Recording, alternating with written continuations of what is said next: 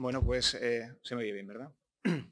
Bueno, pues buenas tardes. Eh, comenzamos con esta, con esta conferencia, el ciclo de conferencias del Departamento de Arquitectura de, este año, por fin en presencial, nuevamente, eh, en las que vamos a ir viendo diferentes perfiles de, diferentes perfiles de, prácticas de arquitectura.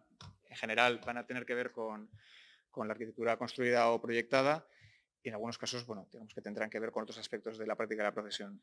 Y en este caso, pues eh, vamos a empezar con un, estudio que me resulta particularmente cercano porque nos conocemos personalmente desde hace bastante tiempo.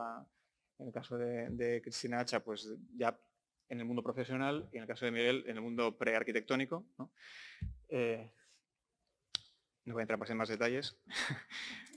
En este caso resulta es un estudio, el, de eh, Cristina Hacha y, Miguel Zavalla. Eh, Cristina es arquitecta por la Universidad de Navarra, eh, Miguel por la Universidad del País Vasco.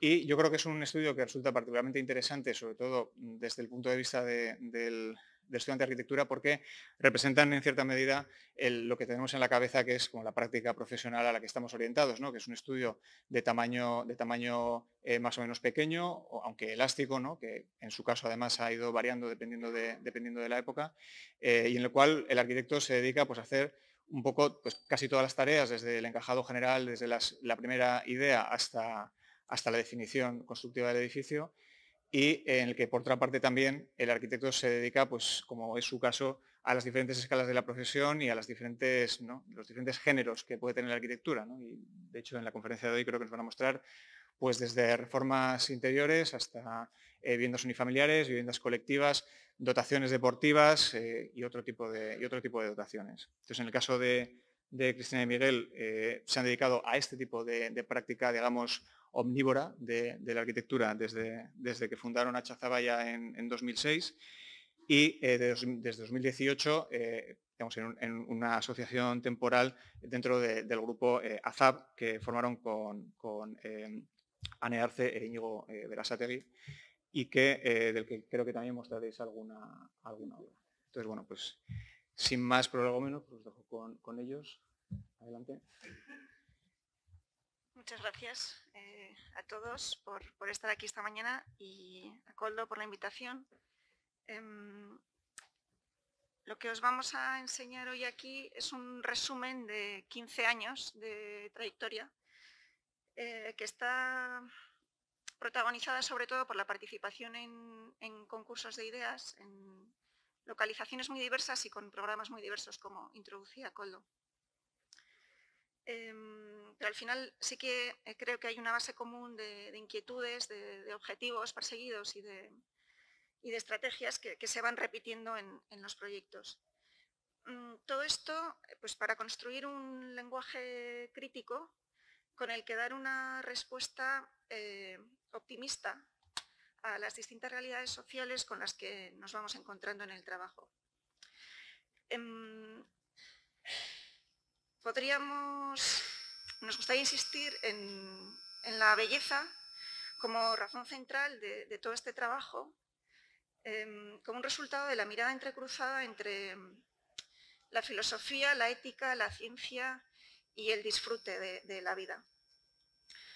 Em, al final, decimos en el manifiesto que tenemos colgado en la web que entendemos la arquitectura como una práctica em, estética potencialmente transformadora.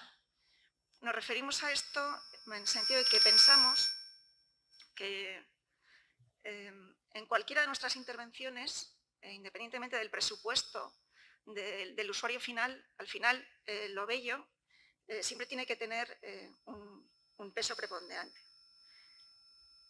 Y respecto a la técnica, como también apuntamos en el manifiesto, mantenemos una actitud muy prudente, siendo conscientes de las limitaciones serias que tenemos al final pues, para construir en el entorno en el que, en el que estamos. Hemos dividido eh, los proyectos que os queremos enseñar en dos bloques. El primero lo hemos titulado Lo doméstico y el segundo La reformulación. En este primero em, os queremos enseñar una serie de proyectos de vivienda eh, en los que reflexionamos sobre em, las cualidades que nosotros consideramos más importantes para definir em, eso que llamamos la casa. Eh, ¿Qué relaciones eh, consideramos importantes? ¿Qué espacios intersticiales nos ayudan a, definir lo doméstico? Al final, la arquitectura de la vivienda es una cosa que está altamente estandarizada, está regulada por una estricta normativa y muchas veces nos excusamos en ese, en ese rigor, en esa estrechez uniforme que va, marcando em, el mercado, eh, en, bueno, pues en, no salirnos de ese, guion establecido.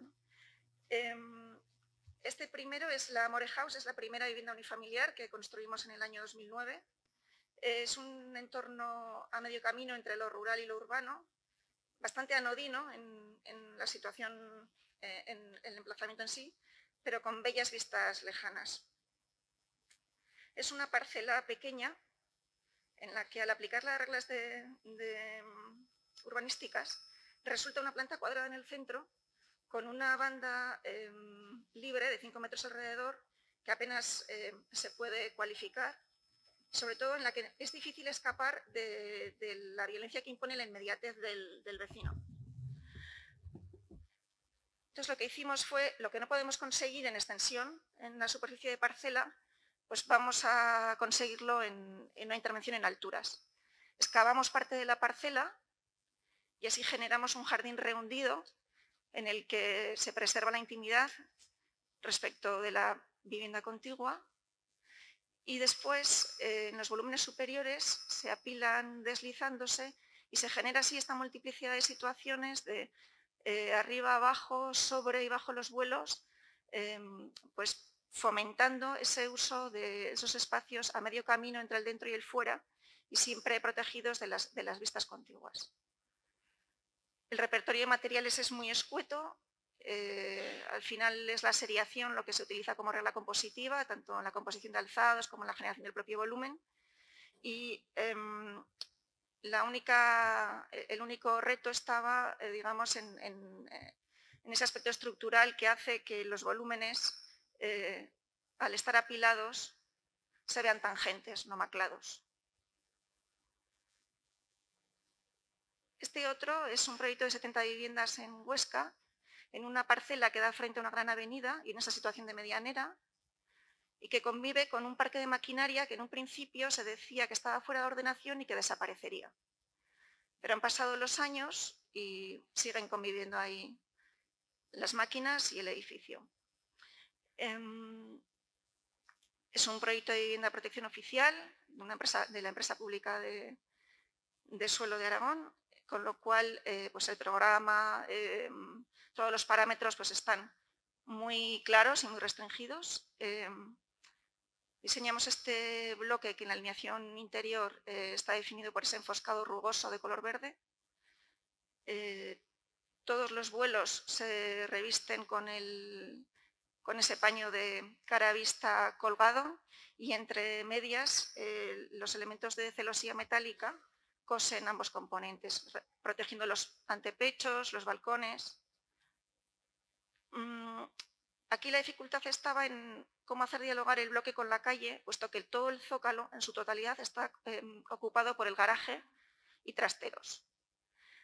son usos muy duros eh, a los que dotar de una fachada atractiva y se optó por extender la celosía en toda la superficie del zócalo.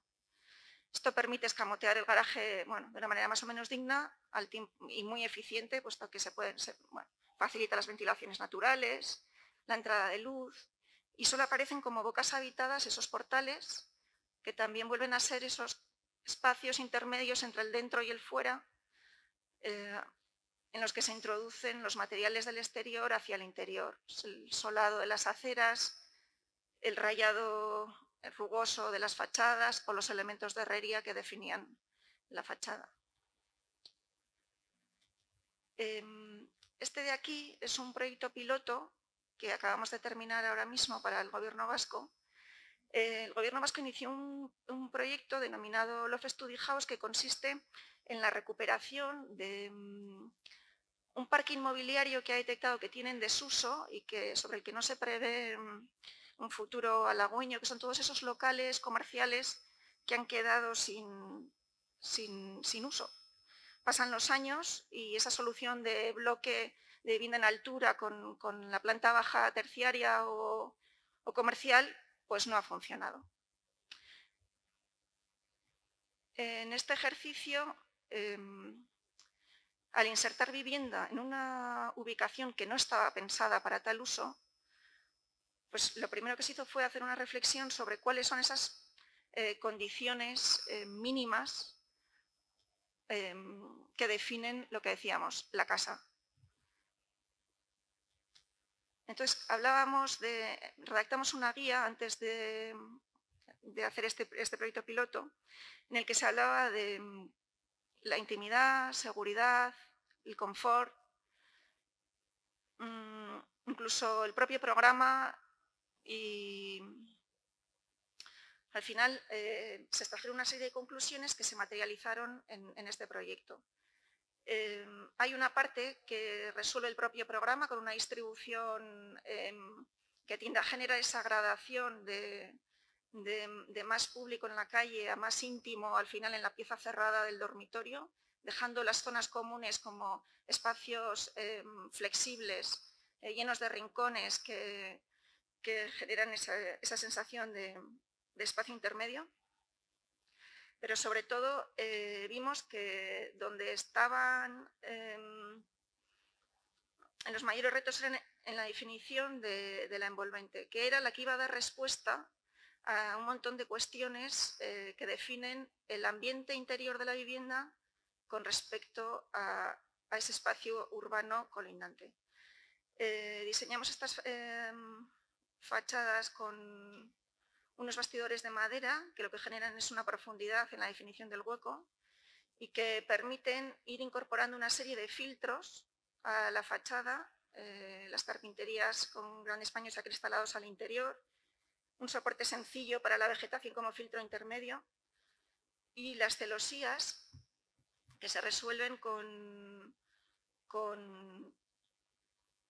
mm, persianas de ballesta que están bueno, muy interiorizadas en el acervo popular y que son de muy fácil uso. Entonces, eh, es, aquí es el usuario el que decide cómo de abierta o cómo de cerrada quiere que esté su casa. O sea, en función de su personalidad, de sus gustos, de su estado anímico, de su bagaje, eh, de lo que se huye en todo momento es de eh, una, vivienda en planta baja bunkerizada que podía dar a entender una, una especie de mensaje de peligro que no tiene por qué ser cierto. Bueno, eh, continuaremos ahora con este proyecto Apartamento 160. Es un caso eh, absolutamente de, inicio contrario a lo que acaba de contar Cristina. Eh, en este caso se trataba de habilitar el bajo cubierta de este edificio de Bastida de los años 20. entonces, el, piso eh, únicamente tenía en contacto con la calle cuatro beluxes y luego eh, se extendía por debajo de la cúpula de zinc del torreón, vamos. Eh, ese es el estado inicial de la vivienda. Esa es su configuración en la cual un espacio destinado a trasteros inicialmente, con el paso del tiempo se había colonizado como, como vivienda y se había ocupado utilizando recursos eh, tradicionales de domésticos, ¿no? Entonces, eh, uno de los hándicaps que tenía el espacio es que solo poseía una bajante de fecales en, torno a la cual a la entrada eh, se agrupaban tanto la cocina como el baño. Luego tenía un corredor, un pequeño espacio de sala y un dormitorio al final. Eh, había otro hándicap, que es que el, torreón estaba elevado 45 centímetros eh, sobre el resto de la superficie. Entonces, bueno, eh, desde el principio vimos que habría que abordar el proyecto con mecanismos no convencionales, ¿no? habría que ser imaginativos y em, buscar recursos que nos permitieran dotar de cierta confortabilidad a la vivienda. la primera decisión que tomamos fue igualar toda la cota de la vivienda a la, cota del torreón, con lo cual se decidió hacer un plano de madera continuo a más 45 centímetros que nos posibilitara, por una parte, eh, tener más libertad a la hora de distribuir los elementos húmedos de la vivienda para, con, ese, espacio, esa cámara de cota que conseguíamos, podíamos llevar instalaciones, saneamiento, etcétera, hasta la única bajante. Y por otro lado, nos permitía también ir avergando usos en ese, en ese plano que ganábamos de 45 centímetros, iríamos metiendo, eh, escamoteando camas, almacenamiento, elementos de climatización, etcétera. Eh, este es el plano, bueno, es una imagen de resultado final, también con un código de color muy sencillo, eh, un azul muy suave eh, revestiría todos los elementos de la casa y luego se potenciaría con un amarillo intenso las bañeras que se generaban en las oquedades y la cúpula. Otra cosa que nos permitía elevar la cota de la casa es que las deluxes que antes quedaban inaccesibles ya quedaban a una altura de visión eh, frontal, con lo cual, bueno, pues no, llegábamos a ver la calle, pero sí podíamos disfrutar de las eh, viviendas contiguas, el cielo, etcétera. Entonces, eh, todos los elementos de instalaciones se van distribuyendo en estas piezas de sección triangular que configuraba, que, bueno, que, poseía el propio espacio, y va albergando la cocina, elementos de mobiliario, y ya vemos cómo esas bañeras eh, que nos van surgiendo pues eh, nos permiten ocupar con almacenamiento los rincones que la sección nos producía, que antes eran inaccesibles, y al mismo tiempo, eh, mediante unos elementos de almacenamiento triangulares que deslizan, permitía ir cualificando esas, esas, bañeras. Entonces vemos, por ejemplo, la habitación de los niños, como las camas eh, que durante la noche salen, durante el día se escamotean y esa superficie se puede utilizar. De, ahí viene el nombre del proyecto. Eh, los 60 metros cuadrados que poseía la vivienda se convierten en 100, ¿no? Pues esos 40 eh, se duplica su uso. Entonces, bueno, pues es una vivienda muy pensada también para los niños, con conceptos Montessori, etcétera, todo alcance. bueno, no deja de ser un juguete, ¿no? Y bueno, pues, eh, este es el espacio de la cúpula que ya eh, queda a cota del resto de la vivienda, ya accede en plano. Y bueno, pues como eh, es el espacio, era y es el espacio estrella de la vivienda, ¿no? Entra luz natural por el torreón, etc. Y lo que hablábamos, ¿no? Tanto las bañeras como se van incrustando en ese plano de madera, las bañeras que generábamos de ocupación amarillos, como las bañeras propias de los elementos húmedos, y también elementos de almacenaje, ¿no? Vale, ahora vamos a contar aquí dos proyectos en el área del Campillo, en Badajoz.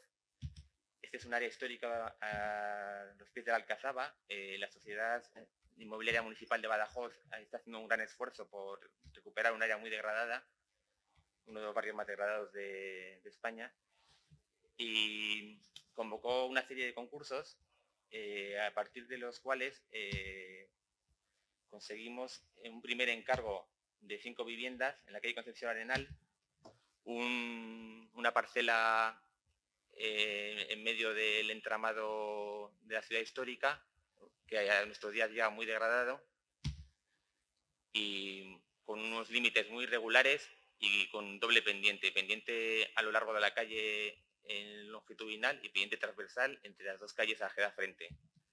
Este, eh, entre las dos calles hay un nivel de, de salto, vamos, 3 metros 20 creo que recordar.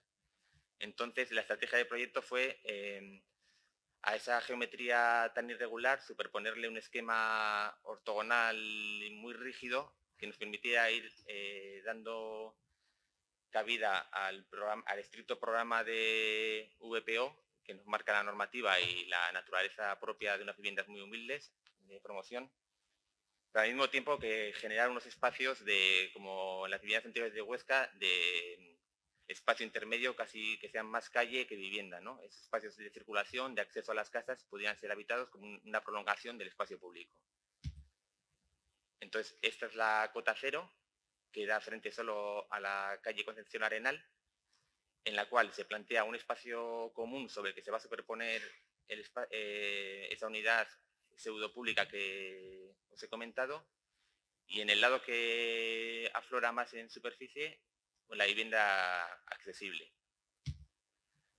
En este primer nivel, eh, a la calle posterior, desde el cual se accede a la promoción, un gran eje transversal que comunica eh, a modo de balcón ya con la calle con la calle Concepción Arenal. Entonces, eh, como vemos, se, mete se, introduce un esquema de cinco crujías bastante rígido, en el cual la crujía central es ese espacio público, pseudo público, vamos, luego están las viviendas, y por un tema de prudencia con las medianeras existentes y también como mecanismo de, que nos posibilitaba ir introduciendo todas las comunicaciones interiores de las viviendas que se van a desarrollar en dos niveles, eh, dos crujías laterales que van a albergar todas las escaleras sido en modo pinaresiano, como veremos luego. En el nivel superior, ese eje público ha rotado 90 grados y, generando un montón de terrazas y espacios eh, espacios privados de estancia que se ven, pero no, se, no tiene una reacción eh, excesivamente violenta. Y bueno, pues, toda esta trama eh, superpuesta a la condición inherente a la parcela va generando una variedad en sección bueno, que va extendiéndose. En cada crujía tiene, pues, esta por ejemplo es la que comunica las dos calles a través de la escalera. Esta es la que alberga ese corredor a modo de balcón que asoma a la calle Concepción Arenal, que se extiende verticalmente hacia la cubierta. Y esos son los espacios, esas crujías laterales donde se van superponiendo todas las viviendas eh, entremezcladas con sus escaleras y sus comunicaciones interiores. Esos son unos espacios de vivienda interior ya, eh, como esas terrazas eh, son este, con este mecanismo de ir maclando las viviendas, conseguíamos que todas tuvieran un espacio de zona de día exterior a la calle y todas las habitaciones queden siempre a ese espacio pseudo público interior. Eh, nosotros cuando llegamos a la parcela está ya vacía, pero buscando en el archivo vimos que ahí había habido una dotación antiguamente, el edificio de bandas municipales. Eh, todo el área está sometida a un, plan especial muy rígido de composición, donde la paleta está muy definida y, no es muy extensa, eh, huecos verticales, eh, texturas definidas, colores. Entonces, bueno, pensamos que introducir a modo de huella un vestigio de la fachada que había existido en la parcela, bueno, pues podría ser un modo de que el volumen que íbamos a incorporar tuviera un referente al acervo popular y pues quedará también integrada en, ese barrio con un carácter tan marcado. Eh, pues la fachada posterior también eh, de todos los huecos, tanto el portal tiene que tener, eh, que ser transformados en huecos verticales por composición. Y bueno, esa es, la maqueta del, del proyecto de ejecución ya, donde vemos como un, un volumen muy sólido visto desde el exterior Luego sí que está muy tallado y muy trabajado en, el, interior, ¿no? Con una, pues una roca eh, está llena de conexiones. Eh, estando redactando este proyecto, se convocó un segundo concurso para desarrollar de cinco viviendas en el mismo barrio. Esta es una parcela a los pies de la Alcazaba, eh, con un desarrollo urbanístico extenso en el cual ha habido varios proyectos ya, siempre con fuerte oposición vecinal. Eh, cuando se convoca en concurso ya están definidas que el desarrollo de vivienda va a tener que ser en dos manzanas, que aparecen ahí grafiadas en rojo. Y bueno, esta es una situación previa a las demoliciones, ¿no? De principios de siglo, años 70 creo que es, ¿no? Años 70 Y esa es como llega la parcela a nuestros días, ¿no? Se han, se eh, efectuado multitud de derribos, entonces aparecen, bueno, está el barrio muy degradado, con la ocupación del coche, etc. Entonces, eh, bueno, el reto del concurso yo creo que era como eh, una tipología de vivienda seriada en línea, baja más uno, que definía también el pliego, y en configuración de dos manzanas, eh, cómo introducir ese programa eh, sin que fuera un elemento excesivamente agresivo para la configuración del barrio. ¿no? Entonces eh, decidimos, por una parte, segregar las manzanas en cuatro, con la incorporación de dos calles privadas en cada manzana, y luego ese trabajo que en fachada y por tipología igual no podíamos, no había mucho juego para hacer en las fachadas, introducir un, nuevo plano en las cubiertas en el cual llevaron a cabo un ejercicio escultórico, por decirlo de alguna manera, que permitiera ir fraccionando esos volúmenes, ¿no? tuviera una visión más, más acorde con el resto del barrio. Entonces, eh, bueno, luego trabajando el, proyecto de ejecución, pues todos esos tapices eh, de teja árabe, que también es por normativa, se han ido modulando y flexibilizando, flexibilizando, modulando y definiendo a partir de la unidad de teja árabe y siempre eh, imponiendo diferentes mecanismos como hacer una banda perimetral en todos los faldones donde llevar todas las ventilaciones, eh, extracciones de humos, etcétera, de tal manera que todos los perfiles, todos los planos de teja queden intactos y, bueno, y permitan una visión limpia desde el alcazaba. Eh, otra condicionante tenía también la parcela, que es que tenía un fuerte desnivel, con lo cual eh, todos los, como veremos en sección, eh, todas las manzanas se van, se van organizando en cabalgamiento. ¿no? Cada calle está sobre la, anterior 3, metros elevada, de tal manera que todas las manzanas se presentan a dos cotas una primera vivienda en baja más uno aparece en la calle inferior y la siguiente vivienda de la manzana aparece elevada una altura. De esta manera conseguíamos también que todas las viviendas tuvieran, eh, tanto la de las manzanas se organizan en forma de U y con esta configuración permitíamos que todas las viviendas disfrutaran de la orientación sur y al mismo tiempo, eh, como veremos en, bueno, esta es la imagen eh, a pie de calle, eh, con, también los mismos condicionantes que las viviendas anteriores, de paños blancos, zócalo de piedra, y luego como en esas fachadas que aparecen en el interior de las manzanas, en las UES, ahí ya sí que se incorpora una fachada más contemporánea a partir de un, entramado de madera ligera en el cual se van incorporando piezas cerámicas y de tal manera que hacia la ciudad moderna las viviendas siempre aparecen eh, mostrando esos patios interiores con una textura eh, vibrante y que destaca sobre el conjunto del barrio. Desde la vista de Alcazaba siempre vemos el tapiz de teja árabe y las fachadas tersas y blancas y lo que comentábamos, ¿no? aquí ya trabajando en maqueta, como todos los elementos que aparecen en cubierta, eh, ventilaciones, extracciones, etcétera, se agrupan siempre en el perímetro de los faldones. Eh, la idea es hacerlos con piezas cerámicas. Hemos encontrado una pieza cerámica de botellero que nos, que nos encaja y con la cual bueno, estamos haciendo pruebas para forrar las condiciones metálicas y a ver cómo resulta.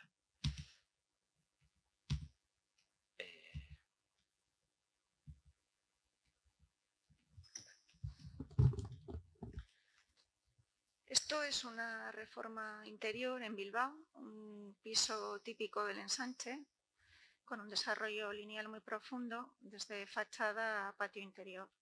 Lo que aparece coloreado es la superficie de intervención.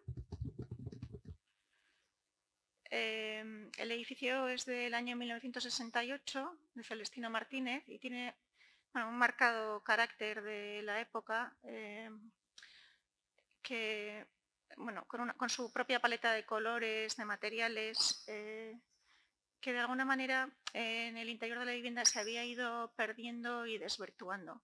Si bien se conservaban todos los elementos de carpintería originales, eh, otros como por ejemplo los, em, revestimientos de gresite de colores habían desaparecido. También había habido algunas alteraciones en la distribución y em, entonces lo que aquí se pretende es eh, recuperar eh, tanto la unidad estética como cierta limpieza en la distribución, actualizando toda la zona de servicio. Así que se integren la cocina y el lavadero, la galería y el salón. Es una reforma parcial. la reforma está hecha con muy pocos recursos económicos, eh, con, una paleta de materiales muy sencilla. Eh, esto es el dibujo del despiece del suelo de la cocina que se hace con una de las marcas de Gres más económicas que, encontramos. Eh, todo el mobiliario desde la cocina hasta la galería y las puertas de la sala se ejecutan con, con el mismo elemento, que son unos bastidores de pino con melamina de color.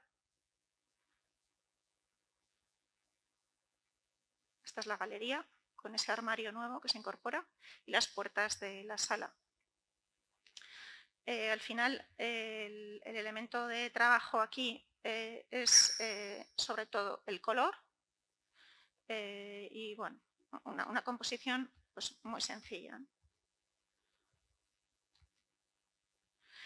Mm, este es un proyecto cuya obra estamos empezando estos días. Son 15 viviendas de protección oficial en el municipio de Sestao, en el área de Chavarri. es un área también que está viviendo un proceso de regeneración urbana en colaboración entre el Ayuntamiento y el Gobierno vasco.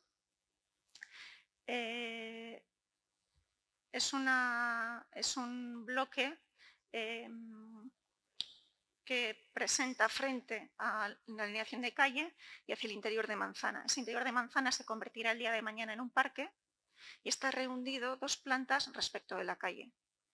Entonces proponemos un bloque de seis plantas eh, iguales, una planta baja ocupada por vivienda e instalaciones y dos plantas bajo rasante con trasteros y viviendas dando frente a, la, manzana. Este es el alzado lateral con esa escalera que conectará la calle con el interior de la manzana.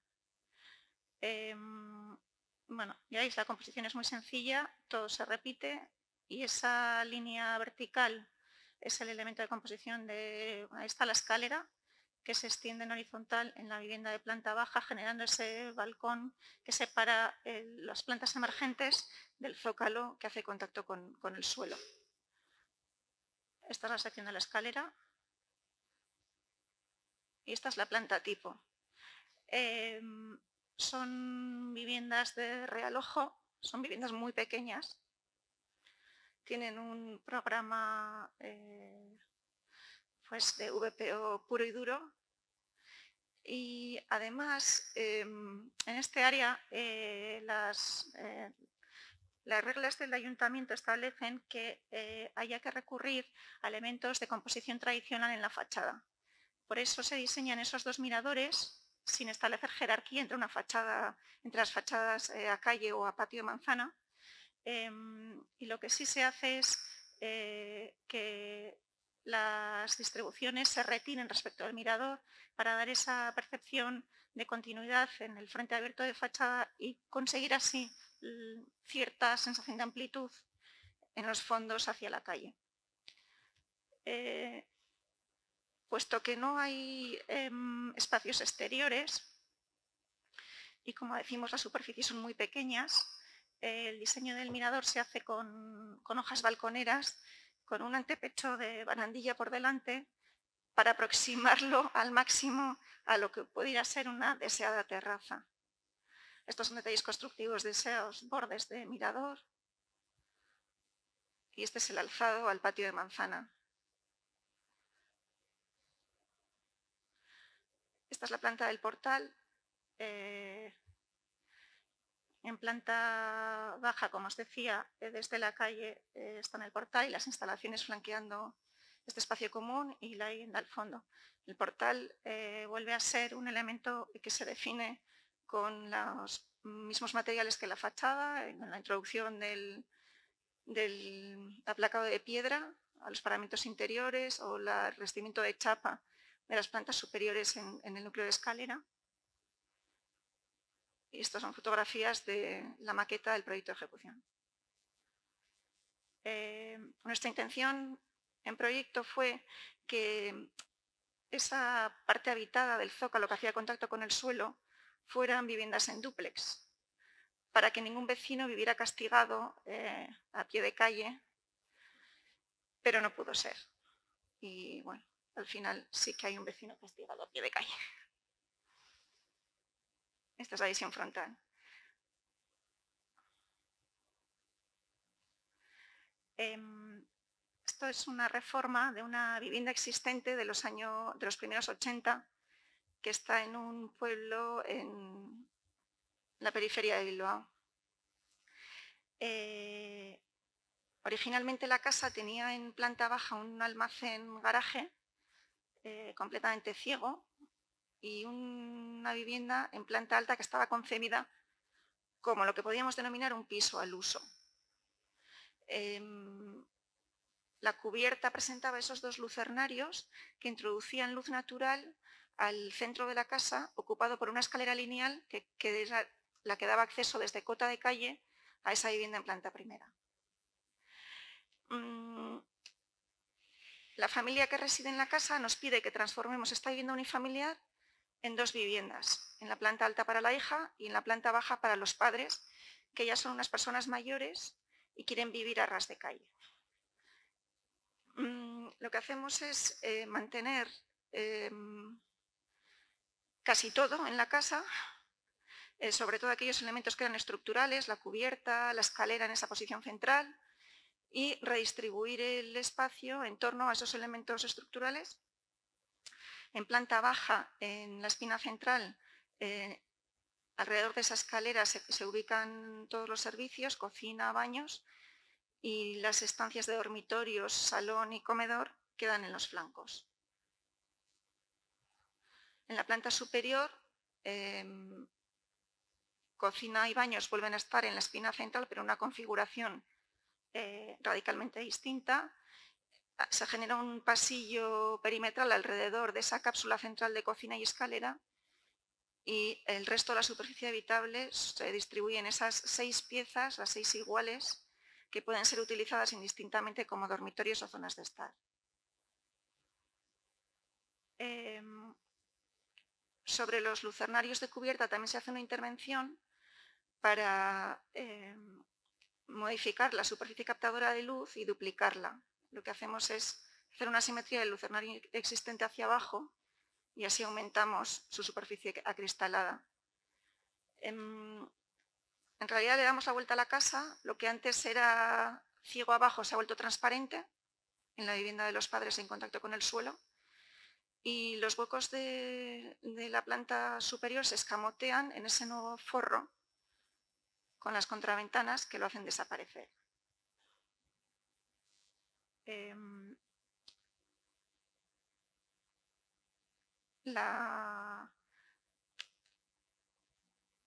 la fachada se reviste de sate y solo se le añade esa sugerencia ornamental pues por cambiar la percepción del volumen.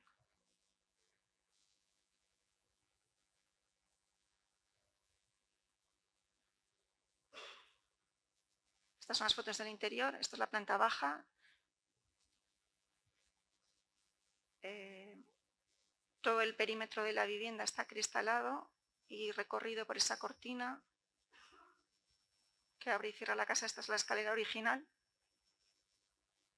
que se mantiene.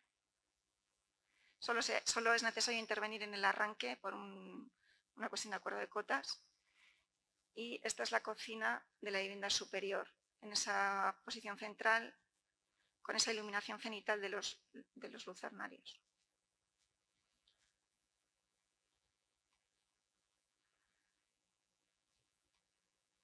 Eh, esta cápsula central, como em, se enfatiza esa, sensación de iluminación cenital en, la planta superior, al envolver este espacio central con esa cápsula cristalada, que reparte luz al resto de las estancias perimetrales.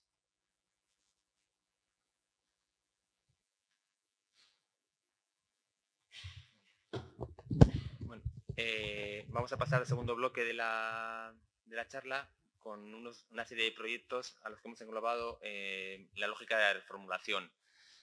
Eh, creemos que cuando intervenimos en edificios existentes se trata no solo de rescatar la lógica original del edificio, sino de potenciarla, haciéndola evidente. Entonces vamos a ver una serie de proyectos que son todos eh, intervenciones en edificios eh, existentes en los que se ha empleado ese mecanismo.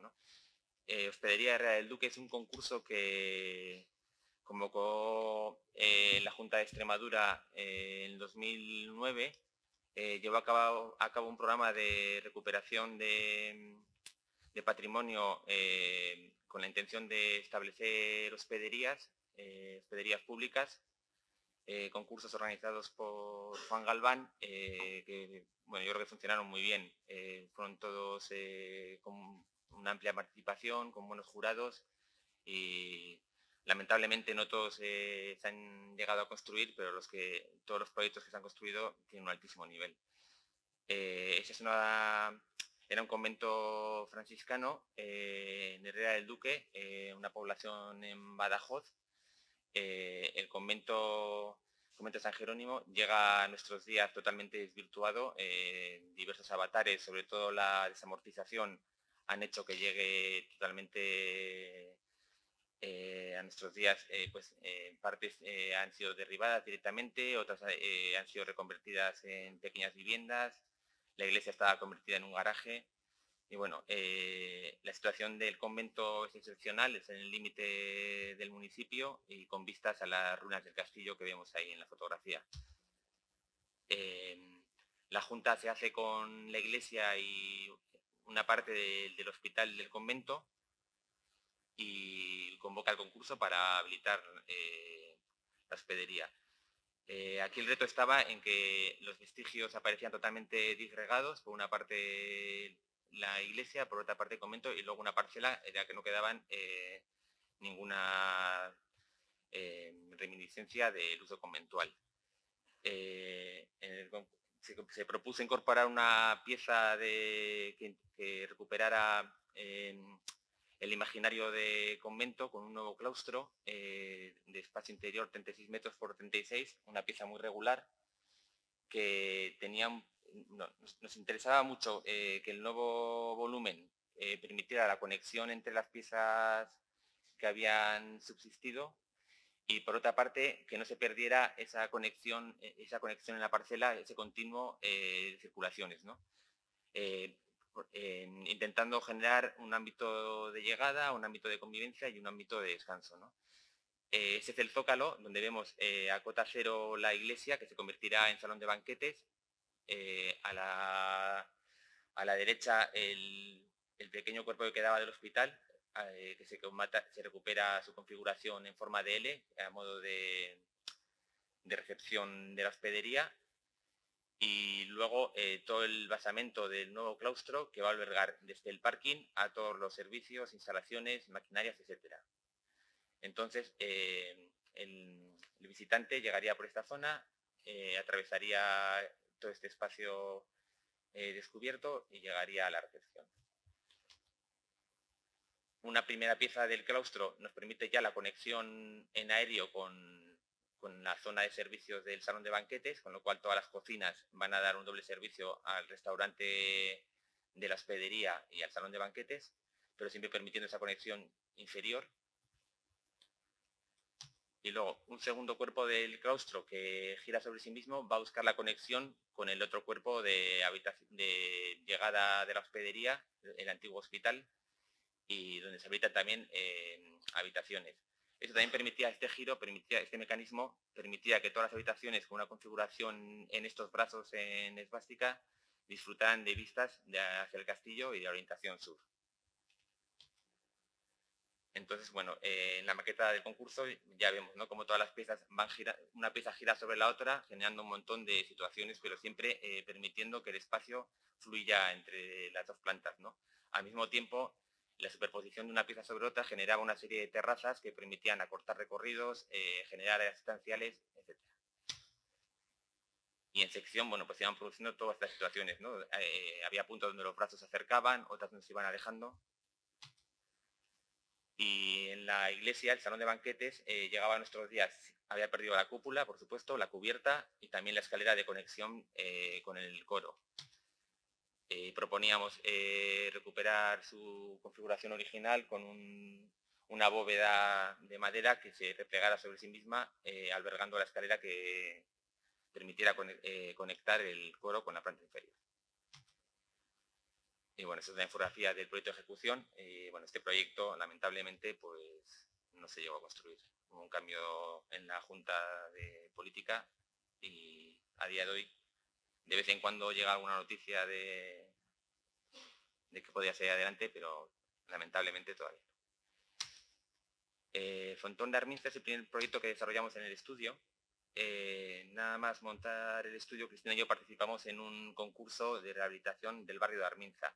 Era un proyecto de carácter urbano y quedamos finalistas. En el desarrollo de esa fase final eh, hicimos una maqueta en la que extendíamos el tratamiento del tapiz urbano, lo extendíamos a, las dotaciones que había en el barrio, frontón, cofradía, etc proponíamos que la, regeneración del barrio se llevaría a cabo de manera profunda si también se intervenía sobre las piezas eh, edificadas. Eh, al, de un, al de un año o así, eh, nos llamaron para, fue fruto de esta idea, nos llamaron para que interviniéramos en el frontón. se proponía intervenir sobre una pieza del siglo, esto de, de 1980, los años 80, para dotarle de un cuerpo añadido con baños, ambigú, etcétera.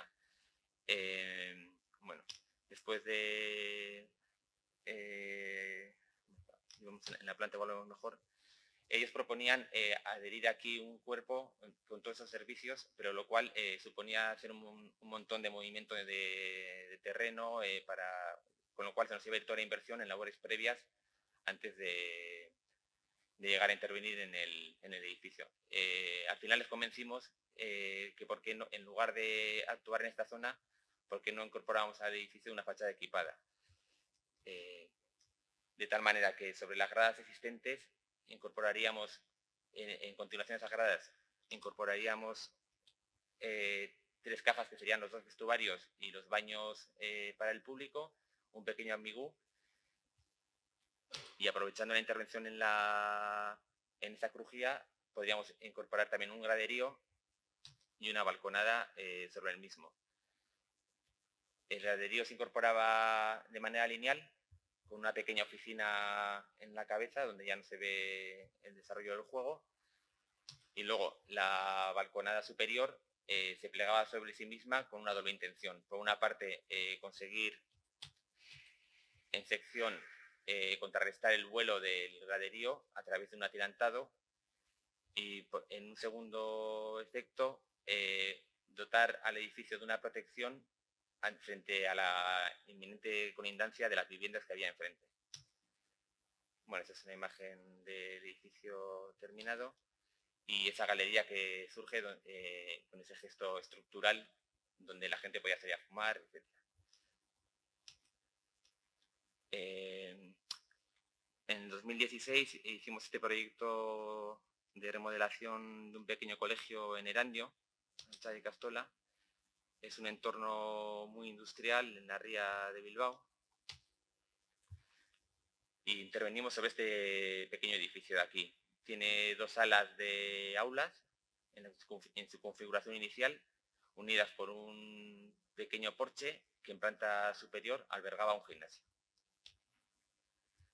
Ese es el estado que nos, eh, que nos encontramos cuando llegamos al edificio la configuración inicial con el tiempo se ha, ido degenerando porque la conexión interna entre las dos salas de, aulas ha sido ocupada por un comedor interior, con lo cual para ir de una aula a otra tenían que salir al porche, por el exterior, etc.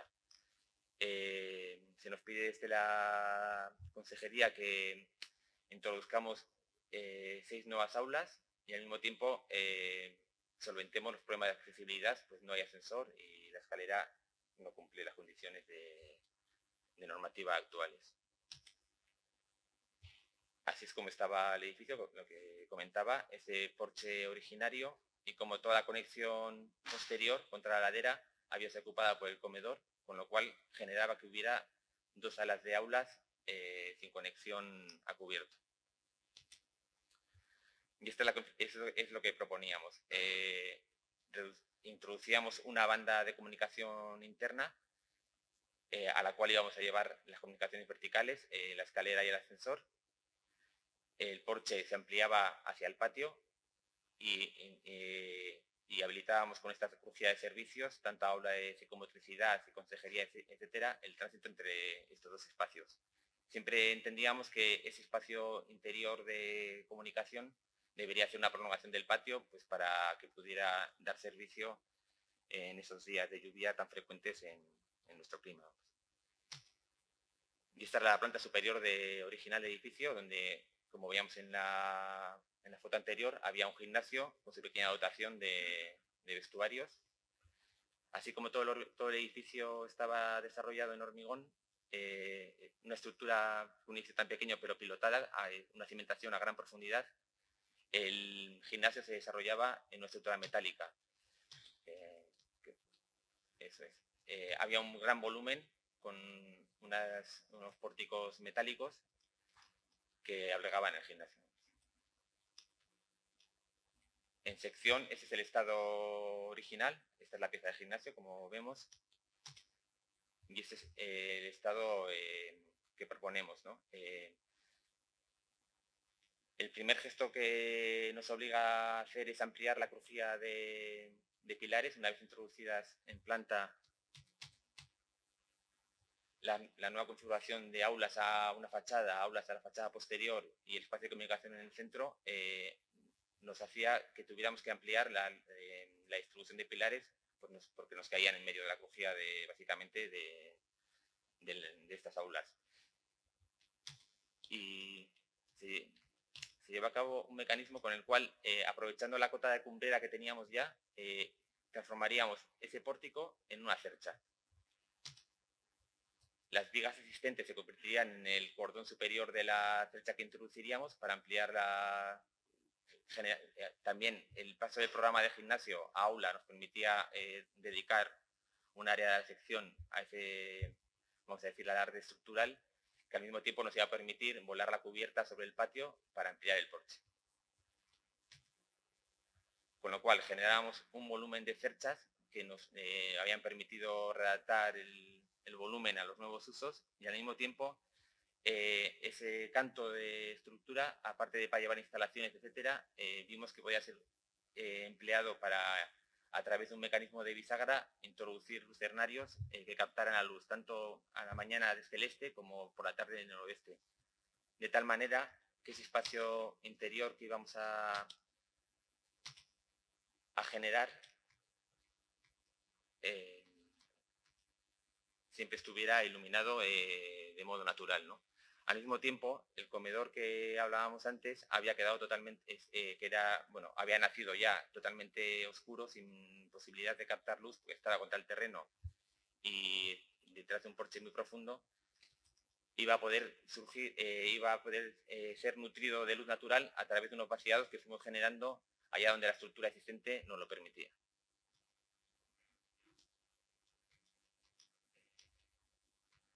La intervención...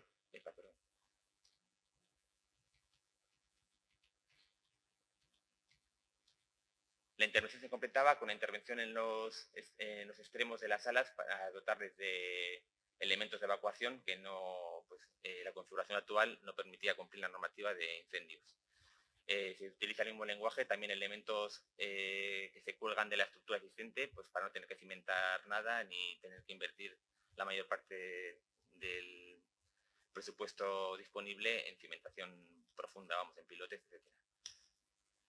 Este juego también en bisagra, eh, eh, que, surgía al incorporar los lucernarios a tres bolillo, eh, pues bueno, también buscaba un lenguaje con el edificio inmediato, este instituto de caravista que había al fondo, que también tenía un juego muy parecido en cubierta.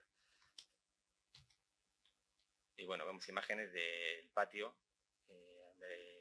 con ese gran vuelo que genera el porche que se prolonga luego hacia el espacio interior. Y luego como dentro eh, toda la estructura existente persiste y simplemente se incorpora un nuevo código de color en amarillos y turquesas que va diferenciando toda la nueva implementería y nuevos elementos del edificio, persistente. ¿no? Eh, todo el zócalo de ladrillo se mantiene, incluso se completa con el mismo ladrillo rescatado que encontramos almacenado en el bajo cubierta.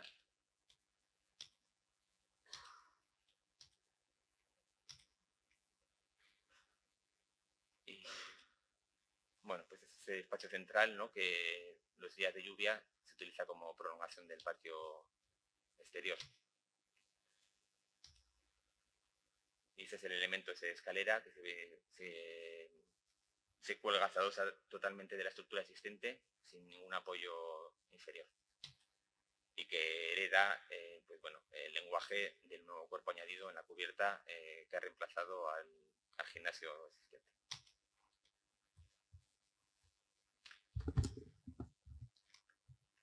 Aluminio Saibar es otro ejemplo de reutilización de un edificio preexistente. Esta antigua nave dedicada a la comercialización de muebles es adquirida por una empresa que se dedica a la distribución y comercialización de elementos de aluminio para la construcción.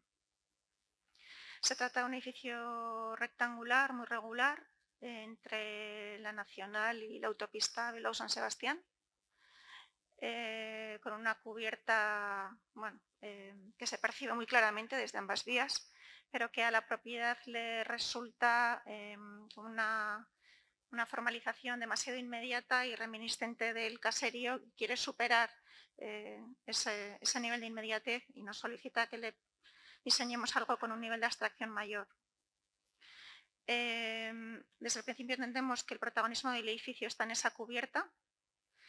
Em, se hacen dos intervenciones eh, sobre ella, que es eliminarle los faldones extremos, convirtiendo eh, esos triángulos laterales ahora en terrazas planas. Y dado que la crujía del edificio es muy ancha y el nuevo uso va a ser de oficinas y de showroom comercial, em, está claro que la planta no reúne las condiciones de iluminación natural óptimas para, para el nuevo uso. Entonces se introducen esos dos grandes lucernarios triangulares en posición antisimétrica en la planta.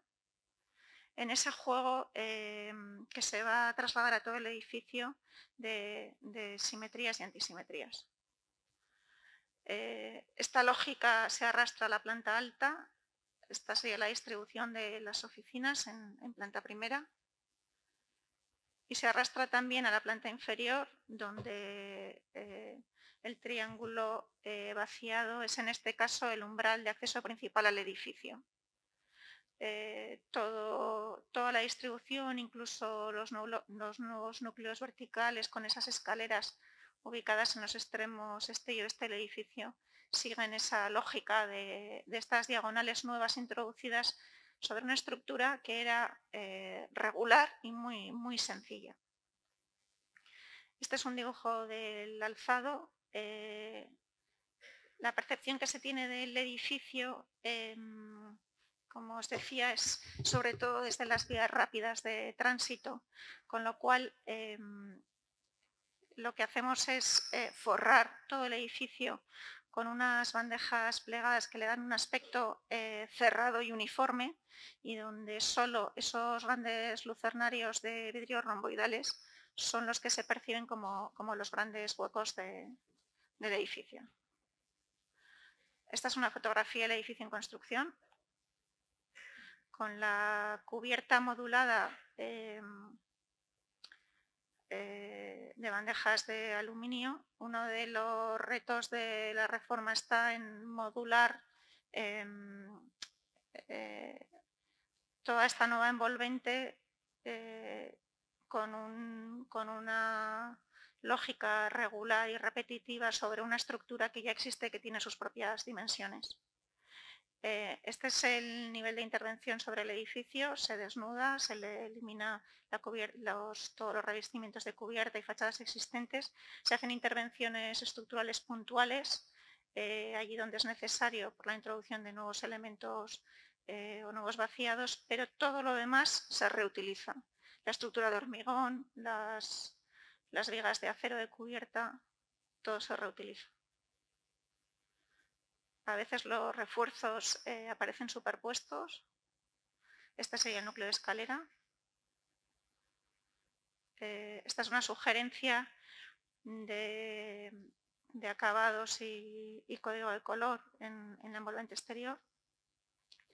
Al ser una empresa que comercializa elementos de construcción, eh, lo que pretendemos es que el resultado final eh, sea eh, muy explícito en cuanto a eh, la identificación de, los propios elementos, todas las carpinterías, mamparas interiores, elementos de estructura se van superponiendo en el edificio em, con, su propio código de colores, son fácilmente identificables y así todo el edificio en sí funciona como un showroom de, la empresa.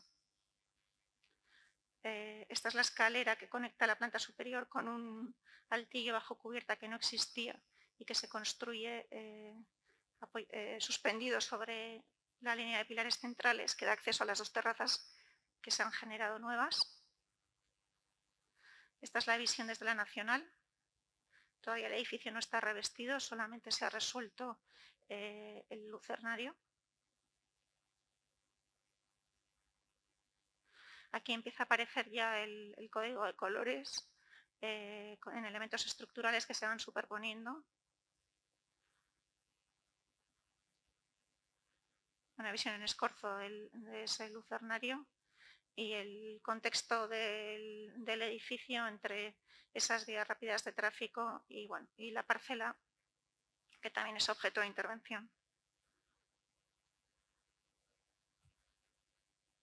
Em, este otro eh, es también un proyecto de ampliación de una pequeña escuela de primaria en Igorre, eh, que forma parte del mismo programa del Gobierno Vasco de actualización y modernización de los centros educativos de los de final de los 70, primeros 80, eh, vuelve a ser un ejercicio de ampliación de aulas y readaptación a la normativa vigente de un edificio que, existe y que está en uso. Es un edificio regular con una lógica muy clara, una distribución de circulaciones internas en H, que eh, por la existencia de esos fondos de saco de la H no da respuesta al cumplimiento de incendios actual y entonces adosamos eh, dos nuevas crujías eh, y un núcleo vertical en fachada central de tal manera que la H se transforma en un anillo y eliminamos así el fondo de saco. Son dos plantas eh, prácticamente iguales, em, puesto que el edificio existente es enfoscado eh, lo que hacemos es eh, utilizar una composición de ventanas muy sencilla, son todas iguales, sin grandes alardes, y, mm, una fachada base de saque. esto permitirá que luego el tratamiento se pueda extender al resto del edificio y se actualice toda la envolvente. Y sobre esta envolvente sencilla superponemos una, una envolvente eh, sobre una, subestructura de acero, unas bandejas microperforadas de acero lacado eh, a modo de cortina que tiene una doble función. Protegen la fachada respecto de las pistas deportivas contiguas y al tiempo que también eh, proporcionan control solar a los huecos de las aulas. esta es la fachada a ese, patio de pistas con esa conexión en rampa que resuelve la diferencia de cotas con, eh, del patio con la planta baja. Este es el núcleo vertical interior. Eh, pues, mm, la paleta de, materiales es uniforme en todos los espacios interiores. Eh, las aulas, los baños, todos tienen el mismo revestimiento, mismo código de color.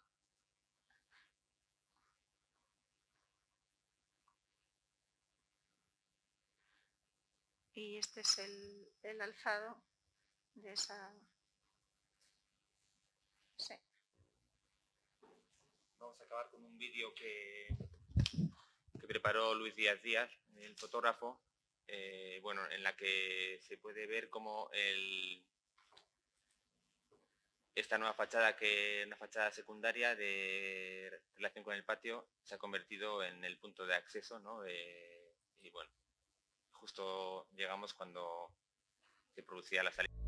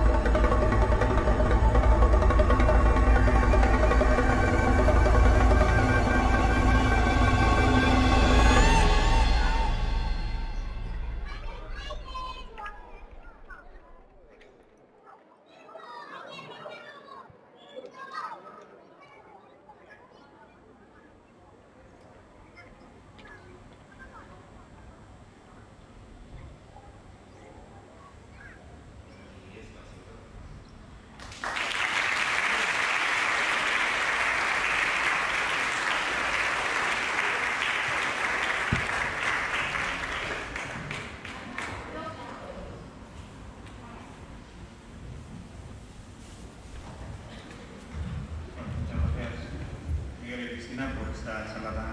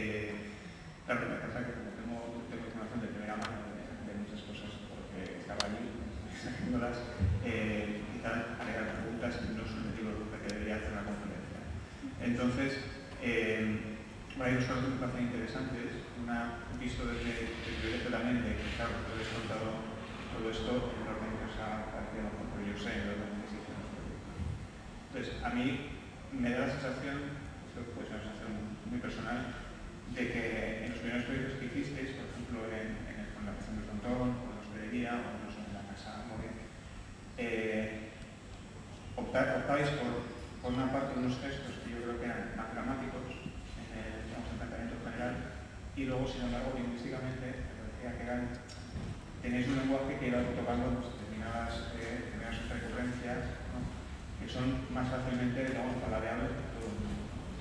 La, la que se o el otro tienen un solo material, lo que es relativamente contenido, más, más. Y sin embargo, a medida que habéis ido eh, avanzando en estos proyectos, hay un, eh, hay un menor dramatismo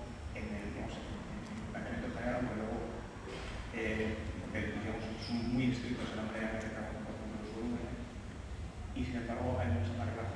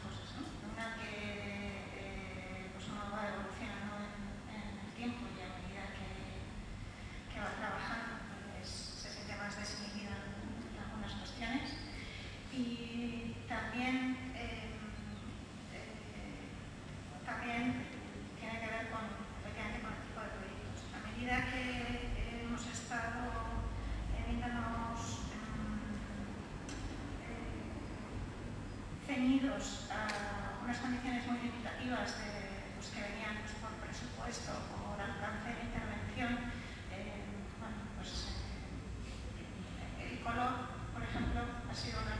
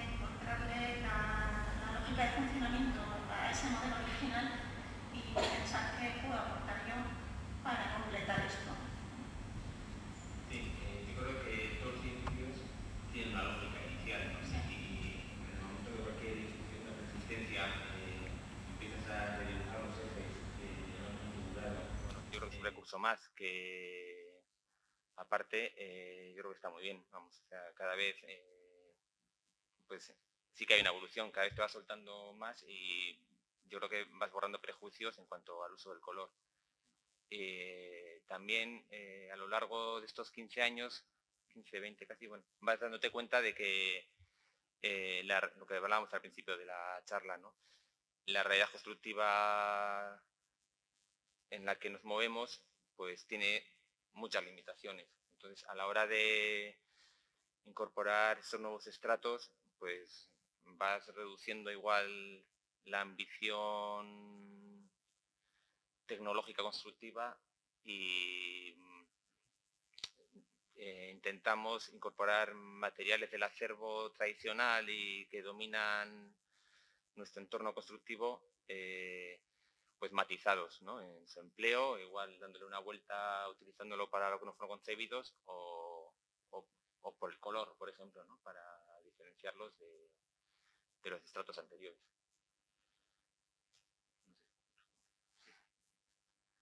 No sé si alguien más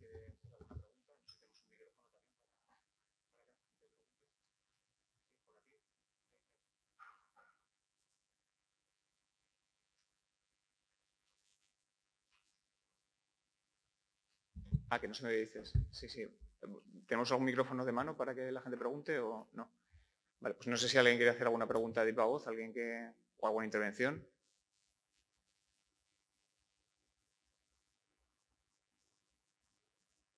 ¿No? ¿Los de primera fila?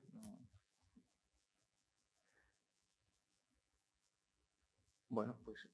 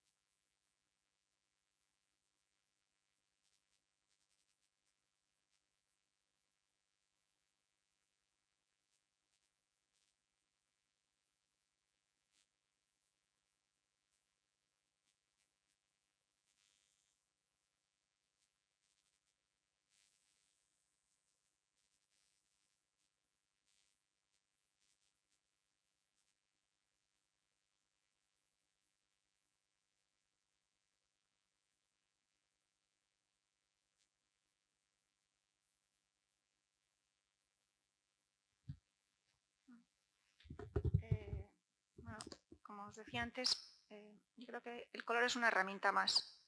Eh, pues eh, igual que En la definición material podemos decidir si algo es áspero o rugoso, si es mate o brillante, pues también mm, podemos definir de qué color es y en función de ese color pues tendrá un efecto u otro.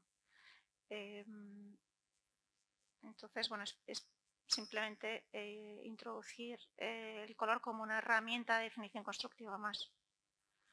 Así es como lo empleamos nosotros. Mm, respecto a... y en ese sentido, eh, en los proyectos suele aparecer el color desde momentos muy tempranos del diseño. No es algo que añadamos a posteriori, sino que desde el anteproyecto ya estamos pensando, eh, bueno, pues esto tiene que estar resaltado o tiene que ser más monocromo o tiene que verse o no tiene que verse. Eh, normalmente cuando el cliente es privado y nos pide una reforma, ya sabe lo que hay. O sea, ya, se espera que vayamos a aparecerle con, con una campana roja o, un suelo azul. Eh, y bueno, yo creo que en los proyectos de promoción em, pública, como las escuelas, las escuelas también eh, son un sector en el que el color no es mal recibido. Eh, entonces, no ha suscitado una polémica especial. Mm. Yo creo que el color siempre, a lo largo de esta arquitectura, siempre ha sido una herramienta al uso. ¿no? igual hemos recibido demasiada información en blanco y negro. ¿no? la mayoría de los proyectos de, la época griega, movimiento moderno, tenía muchísimo color. En cualquier dibujo se ve que había un montón de color. Eh, otra cosa es que en los libros, en la universidad, siempre hayamos visto imágenes eh, en blanco y negro. yo creo que esta, arquitectura en blanco eh, de del siglo XX, bueno, el blanco también es un color, quiero decir. entonces yo creo que hay, sí que creo que, bueno, no, no estamos de acuerdo en el prejuicio este de que una arquitectura que se incorpora color esté haciendo utilizando trucos Y en cuanto al uso del color con los políticos y tal, pues eh, está claro que un edificio gris eh, socialmente se recibe con menos no sé cómo decirlo, eh, pues a la hora de incorporar color en los colegios, pues llegaba alguien que veía una bandera de España, otro veía, y sí, hemos tenido, o sea, esas cosas han, surgido en obra, ¿no? Pero bueno, yo creo que es una cosa que se supera fácil, ¿no? O sea, alguien podrá ver aquí un código de color que, pero también, que puede pasar con las formas también. Vamos, creo que es una herramienta más, que, no es imprescindible, pero tampoco creo que haya que renegar de ella. Vamos.